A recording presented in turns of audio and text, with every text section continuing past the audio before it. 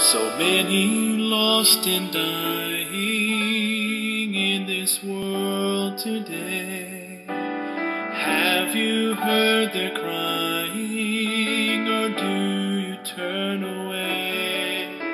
The harvest now is plenteous, but the laborers are few. God needs some willing vessels to be used. Satan's stronghold in Utah through the LDS Church is slipping, and God has shown himself mighty. In 2021, the LDS Church refused to show its documents to the Utah government because the coronavirus caused them a dramatic decline. We are here to be Christ's light in Satan's dark place.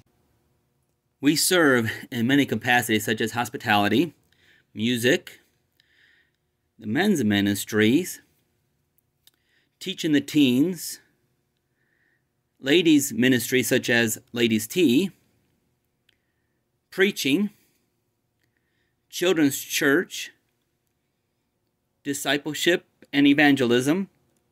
We are also engaged in other outreach ministries such as nursing home.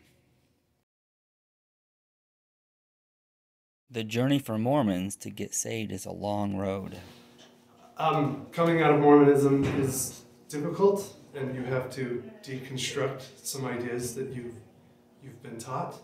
So for me, it took me well over a decade.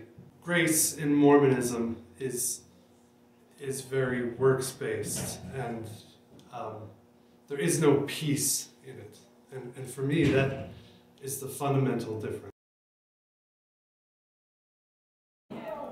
Just wanted to say that before I was saved, in my past, bringing up in a different religion, I was more confused and and now that within the past couple of years of being saved, I am more at peace.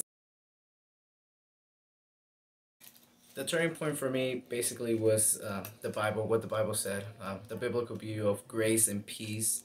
There was no real peace in Mormonism, but the peace that I found through Jesus Christ was my turning point. Many others also trusted in Christ these past few years.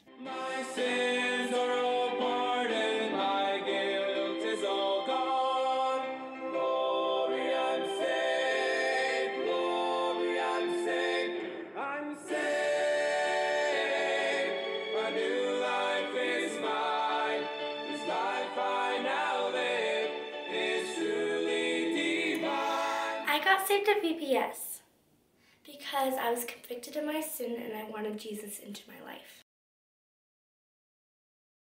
It was just the next day was when I went to Michigan and North Carolina and I didn't want to go to hell when I if I crashed so I got saved. I know I'm saved because I believed in Jesus Christ um, as my savior. When mom was driving, I said, "Can we get saved? Can I get saved?" And mom said, "Yeah, when we get home." And then we got home, and then we prayed to get saved, and then I got saved. Being located close to a local university, we always have students actively attending our church, even getting involved. Mike and Sharon faithfully minister to the students with the Bible. God has added new servants to our ministry, such as Freddie, who takes care of our grounds. Nathan oversees our nursing home ministries.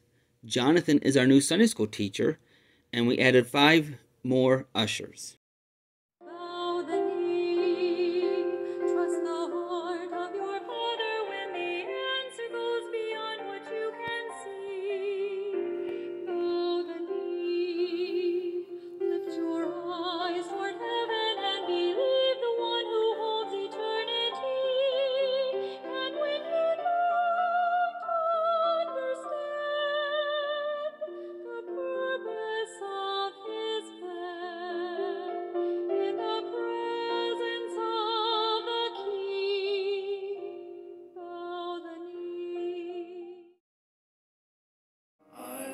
tell them of the crimson flow.